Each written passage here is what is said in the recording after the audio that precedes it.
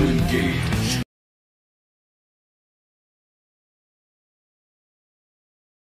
dash na merong immunity or even pure uh, when in fact, yung magiging purpose mo sa team fight is ikaw yung isa sa mag initiate sa team fight. So, medyo mag-struggle pero clear na ninyo wave, basically the same. Pero si si Kuya Kyle Tizzy ay maaga maglalakad sa Jurassic Park. Nako po, aabutan ata siya. Genliro nagalit, naga, nakaamoy ng dugo in first blood para sa kalmot ng hatakal lang muna muli. Nag-aantay lang sila na mag-level 4 pero ngayon kakain na nga kagad dito si Kyle KZ and Mingren is down. Atak mula dito kay Few. Ferds ay umaatras. Circling Eagle, inabutan na naman si Doc. And Ferds, nagamit na rin kanya penalty zone pero grabe yung na, bloom na ulti. Atras muna sila, hatakan na naman, reset. Nalilito na yung turtle, saan ba ako titingin? Kaliwa ba o kanan? Oh, alam mo, intense yung laban kung 3 minutes pa lang pero parang mala Lord Dance ang uh, nakikita natin dito para sa ating dalawang manlalaro. Pinasok! Nako po. Nako, may pagsayaw. Nagamit na rin dito yung uh, ultimate mula kay uh, Yoji Ronoda or kay Few, Kyle Easy. So, off the damage pero masakit. Siguro Eagle aabot ba? Hindi! Pero mamamatay din in the process itong si Denjiro. Tama ba, yes, first yes. turtle? O nga, first turtle pa lang. Uh, wala pa rin nakakakuha. Grabe yung respect ng RRQ kahit doon din Falcon Safety Brand sa mga team fight uh, prowess na magkabilang kupunan ngayon. Kahit easy, nagamit na rin yung penalty zone. Pasok ngayon, Uy! na nagamit na rin yung Netherrealm habang si Flat easy sa may padalikuran. Hindi tumama yung sipat. Hindi tumama yung Spear of Destruction habang si Danger ay makakuha ng certain habang si Spurs. Mamamatay din itong si Kyle TZ. Flap ang magiging next target. Kinakalmot, pumasok na under the base. Pero wala na pakialam dito ang RQ. Kahit to double kill para kay Denji Rowe. Grabe, Denji Roll. Para dito sa RRQ. At mukhang diretso pa nga, oh, naabutan dito si uh, Few. Yung mga uh, alam ko sa comment section na gets nila kung ano gusto mong sabihin, Chance. Sige.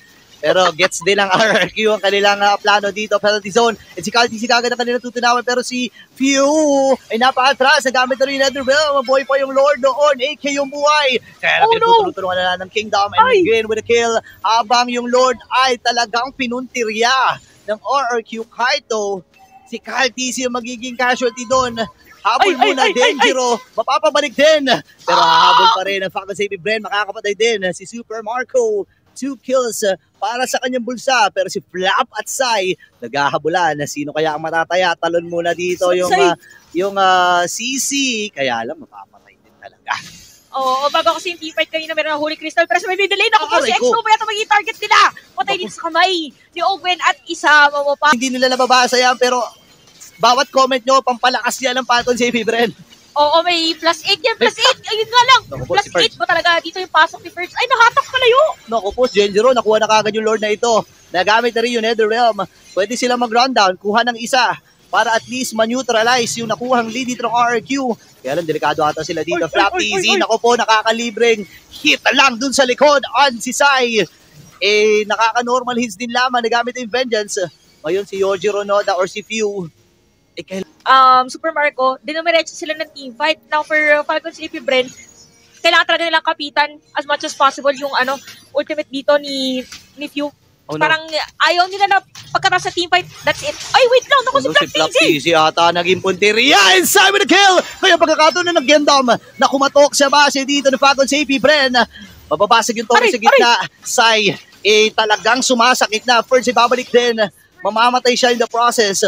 And itong si Super Marco, eh, nakukuha na naman ng kill. Kung babalikan natin, wala pa ring death si Super Marco at talagang kumak... Ex-Nova. 'Di ba? Yung 0 to 100, nakita natin 'yon uh, il- baka ilang beses na ngayong uh, papasok uh, itong si First, wala namang tinamaan doon sa kanyang penalty zone.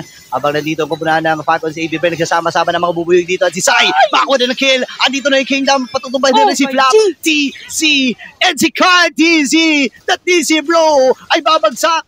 Dalawa na lang ang natitira para sa Falcons AB Bren. Ngayon pagkakataon na ng Kingdom na kumatok. Sila naman ngayon ang aangat. And the BOD mula kay Denjiro, this might be it. At ang RRQ Kaido ang magtutungo sa Grand Finals! Wow!